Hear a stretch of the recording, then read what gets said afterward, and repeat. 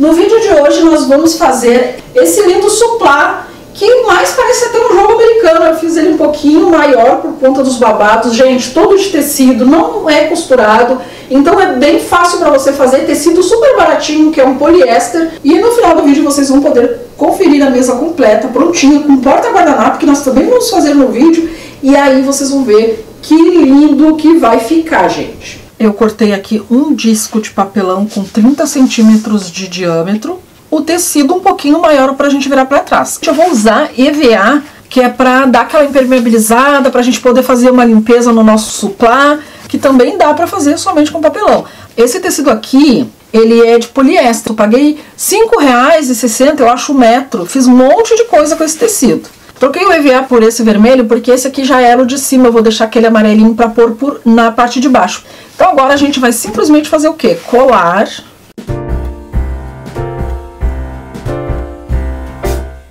We wish you a Merry Christmas. We wish you a Merry Christmas. We wish you a Merry Christmas and a Happy New Year. Ah, então essa é a parte de cima e olha a parte de baixo que eu falei para vocês no, só com o EVA. Agora a gente separa aqui e vamos fazer o nosso babado. Eu cortei 1,80 de comprimento por 12 de largura. E aí eu dobrei ao meio. Se você quiser faz, ir fazendo pregas e colando e fazendo pregas, pode também, mas acho que franzido fica mais fácil.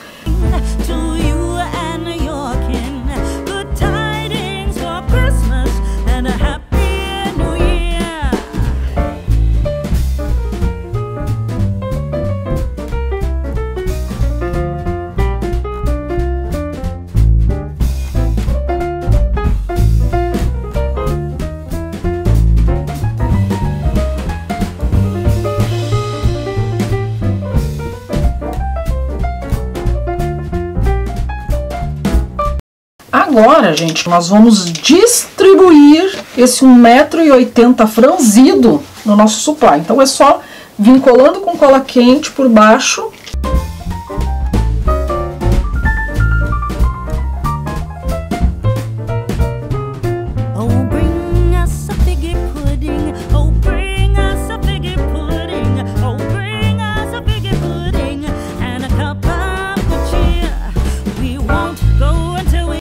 Sabe que se vocês forem em lojas que vendem produtos para mesa posta, um jogo americano, um suplá, qualquer item desses de mesa com babadinho, é super caro, gente. Então, faça aí que você vai gostar de manter a sua mesa sempre bem bonita. Vamos pegar aquela parte que a gente for com EVA, aí você vai colar aqui embaixo para dar acabamento.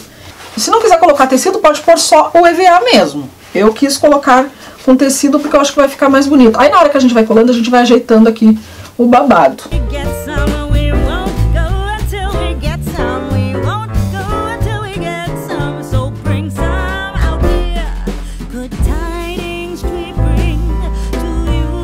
E olha só que lindo que ficou, gente. Agora a gente tá precisando de quê? De um porta-guardanapo. E eu tenho duas ideias bem legais para mostrar para vocês.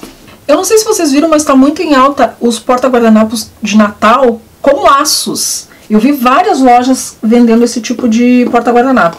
E aí a ideia é o que, gente? Forrar um cano de PVC com o mesmo tecido e depois você vem e só cola o laço aqui em cima. E olha que lindo que fica. Eu não vou colar porque eu tenho outra ideia aqui para mostrar para vocês. Mas depois lá eu vou mostrar para vocês na mesa posta o porta-guardanapo com o laço. Forrei com o mesmo tecido. Aí eu tenho essa fita aqui vazadinha, dourada, que ela remete bastante ao Natal.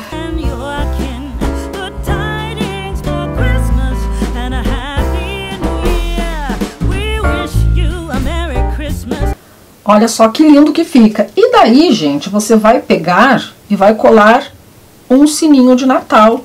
Você compra um pacotinho com seis unidades por três, quatro reais, dependendo da cidade onde você mora, né? E só vou colar aqui e já vai ficar um porta-guardanapo bem lindo e maravilhoso. E olha só, gente, que lindo que ficou o nosso porta-guardanapo de laço, que tá super em alta. Você pode fazer com o mesmo tecido do, do suplá, ou então comprar uma fita natalina e fazer os laços.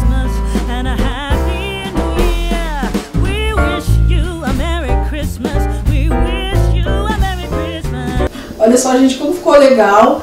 E a ideia de usar ele para fazer mesa de café, eu gostei porque a gente consegue colocar todos os itens, os talheres, pratinho, xícara e pires.